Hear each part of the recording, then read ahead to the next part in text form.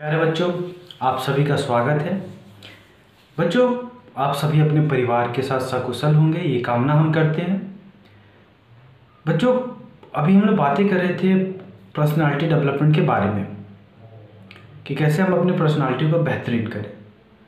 तो उसी से जुड़ी हुई आज एक और टॉपिक पे हम लोग डिस्कस करेंगे, बातें करेंगे, कि कैसे हमने पर्सनालिटी को निखारे। तो बच्चों ये जो टॉपिक है, ये टॉपिक है कि आपके नाम में कितना पावर है। आपका जो नाम है, वो कितना यूज़फुल है, कितना पावरफुल है, और ये आपके पर्सनालिटी पर कितना इफ़ेक्ट करता है, इस पर हम लोग आज बातें करेंगे। तो बच्चों, इस संसार में नाम ही वो चीज़ है, जो हमें एक दूसरे से अलग करती है। हम इंसान देखने में एक ही तरह दिखते हैं चेहरा, रंग रूप, दो आँखें, सब कुछ। बहुत बार होता है कि जुड़वे भाई रहेंगे तो दोनों का सब चीज़ें सेम मिलेंगी। लेकिन नाम वो होता है जो सबको अलग करता है। और हर इंसान को अपना नाम बहुत पसंद है। चाहे वो चपरासी हो, चाहे वो किसी भी बड़े पद पे हो कमिश्नर हो आईएएस हो, सबको अपना नाम पसंद होता है। सब चाहते हैं कि लोग उनके नाम से ही बुलाएँ। अक्सर हम ये गलती करते हैं कि जब भी लोगों से बात करना होता है तो हम उनके नाम को भूल जाते हैं। हम सोचते हैं कि नाम याद करने में क्या है, बस हम ऐसे ही बुला सकते हैं। लेकिन ये बहुत ज़्यादा खतरनाक हो सकता है। ये आपकी पर्सनालिटी को ये दिखाता है कि आप उस सामने वाले इंसान को कोई वैल्यू नहीं दे रहे हैं। अगर आप किसी से मिलते हैं, उसे अगर नाम से नहीं बुलाते हैं तो इसका मतलब है कि आप उस इंसान को वैल्यू नहीं दे रहे हैं।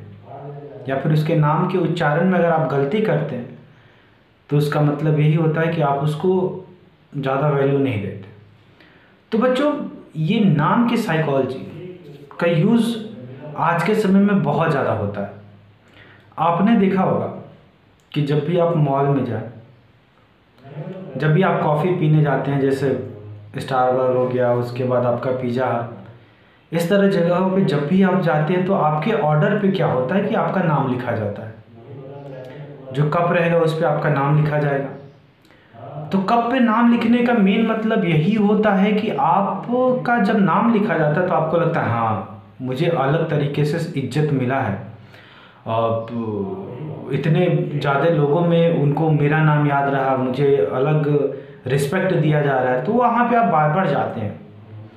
तो ये चीज़ों का प्रयोग कंपनियाँ बहुत ज़्यादा करती हैं। आपके साइकोलॉजी के साथ वो बहुत ज़्यादा खेलेंगी।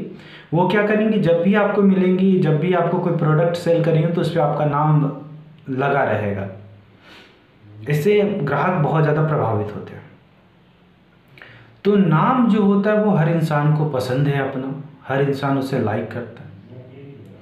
आपने देखा होगा बच्चों, कहानियों में अक्सर आप पढ़ेंगे कि पुराने समय में जो राजा महाराजा रहते थे, उनके राजमहल में जो कवि आते थे, जो संगीतकार आते थे, वो जो गाना गाते थे, अगर उसमें राजा महाराजा का नाम ले लिए, उनकी बड़ाई कर दिए तो बहुत खुश हो जाते थे। उसको बहुत ज़्यादा इनाम देते थे। उनको इनाम इसलिए भी देते थे कि ये जो गाना है, ये हमारे नाम कर दो। इसके लिए भी उन्हें पुरस्कार मिलता था। तो वो चाहे राजा हो चाहे भिखारी हो, सभी को अपना नाम पसंद है अच्छा लगता है। अब हमें क्या करना है कि अगर हमें अपनी पर्सनालिटी को एट्रैक्टिव बनाना है, अगर हमें अपने पर्सनालिटी को निखारना है तो हमें क्या करना है कि हमें जब भी हम किसी से भी मिले तो उस इंसान का नाम हम याद रखें। कोशिश करें कि उस इंसान को नाम से बुलाएँ।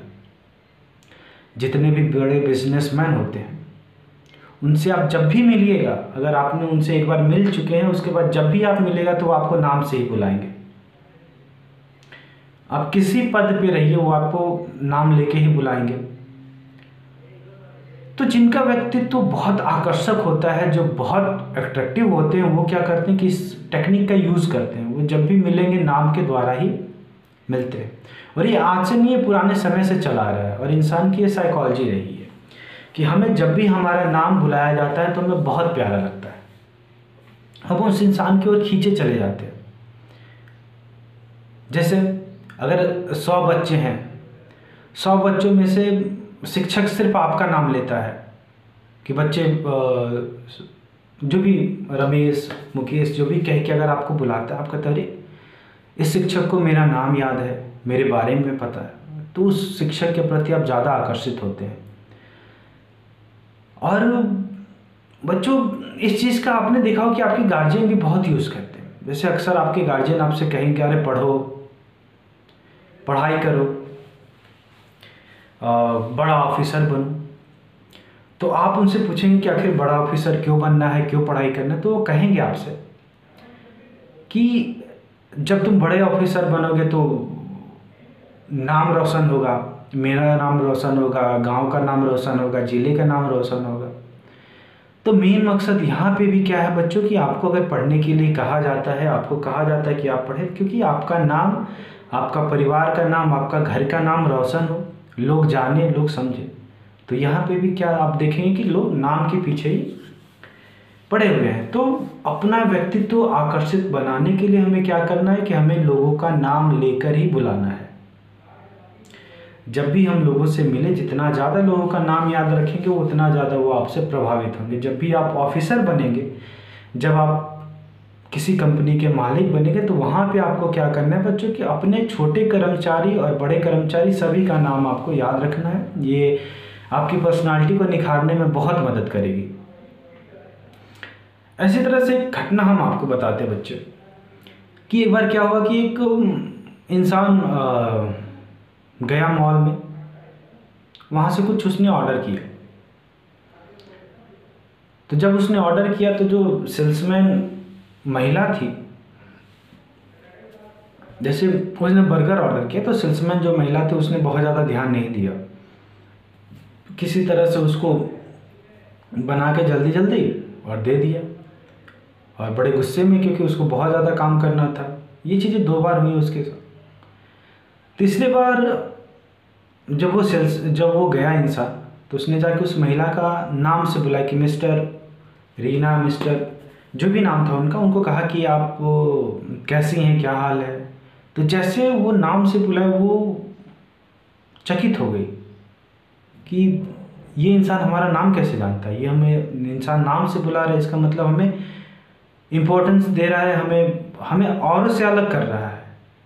तो फिर उसने क्या किया कि जो उसे बर्गर बनाता उसका जस्ट डबल उसे बना के दिया।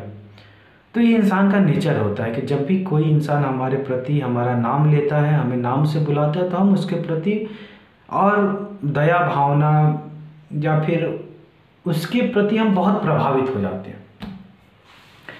तो बहुत बार आपने देखा होगा बच्चों कि बड़ी बड़ी जो बिज़नेस होती हैं, जैसे एक कंपनी यूनिलीवर हिंदुस्तान यूनिलीवर। अब हमें लगता है कि, अरे हिंदुस्तान यूनिलीवर इंडिया की है, चलो हम कुछ प्रोडक्ट अपना ले ले, खरीद ले। लेकिन हकीकत क्या है कि ये जो कंपनी है, ये आपकी विदेशी कंपनी है।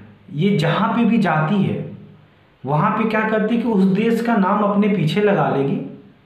जैसे अगर वो अगर वो पाकिस्तान में गई तो कहेगी पाकिस्तान यूनिलीवर। तो वहाँ के लोग प्रभावित होते हैं। अरे उसने तो नाम लगाया हाँ हिंदुस्तानी हिंदुस्तान यूनिलीवर है तो ज़ाहिर सी बात है हमारी कंपनी, हमारे देश की कंपनी है तो हम बहुत ज़्यादा उसको परचेस करते हैं। लेकिन हकीकत क्या है? हकीकत वो विदेशी कंपनी वो आपके साइकोलॉजी के साथ खेल रही है, वो आपके नाम का यूज़ करे। तो वहाँ पे आप क्यों खींचे चले जाते हैं? क्योंकि वहाँ पे आपको अपना देश का नाम दिखता है। इसी तरह से आप बहुत जगह जाएँगे। आज के समय ये बहुत यूज़ हो रहा है कि हर जगह आपको नाम के द्वारा, जैसे बैंक से भी मैसेज आते हैं तो आपका नाम स्पेशल लिख के, अगर आपका जन्मदिन रहा तो उस दिन जन्मदिन में, अगर अगर आपका जन्मदिन रहा तो जन्मदिन जन्मदिन पे भी स्पेशल आपका नाम लिख के बैंक से मैसेज आया कि हैप्पी बर्थडे आपका जो भी नाम रहे। तो इन सब चीज़ों का यूज़ होता है। बच्चों तो हमें क्या करना है कि अगर हमें बेहतरीन अपनी पर्सनालिटी को बनाना है तो हमें लोगों का नाम याद रखना होगा। अब ये याद करने के क्या टेक्निक है? जब भी आप लोगों से मिले तो उनके नाम को एक बार, दो बार आप पूछें कि आपका नाम क्या है, कहाँ से है, वो आप याद करने की कोशिश करें। और कोई बहुत इम्पोर्टेंट इंसान है तो उसका नाम दोहराए, उसे याद करें। हाँ और कभी भी अगर उसके नाम से बुलाना है तो सही उच्चारण के साथ जब उसे बुलाएँगे तो बहुत ज़्यादा प्रभावित होगा आपसे। बच्चों, हम सभी आपके साथ हैं। कभी भी किसी तरह की कोई समस्या है, आप हमें कॉल कीजिए। और आप बेहतरीन, अच्छे से रहिए घर में। और कभी भी बात करने की ज़रूरत हो बच्चों, किसी भी तरह का प्रश्न आपके मन में आ, आप हमसे जब चाहें बात कर सकते हैं बच्चों। फिर हम लोग मिलेंगे अगली वीडियो में और बातें करेंगे कि अपनी पर्सनालिटी को और कैसे बेहतरीन निखारे और कैसे बेहतरीन बनाए, इसके बारे में हम लोग बातें करेंगे बच्चों।